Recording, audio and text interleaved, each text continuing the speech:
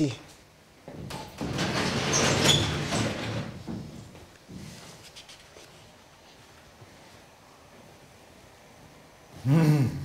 إيه اقعد يا عمرو مالك شكلك في حاجة قلت لماما أنا عايز اتجوز مين وطبعا شنت الحرب عليك بغاراتها الجوية.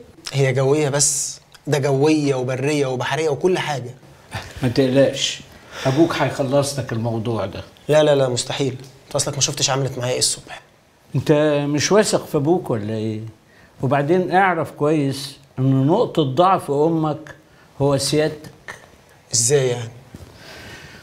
أمك صحيح ست متسلطة جدا.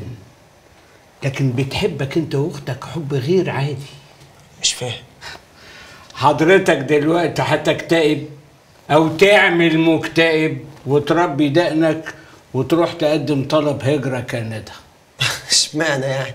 اسمع اللي بقول لك عليه. روح السفارة بجد وقدم طلب هجرة وأنا هوريه لها.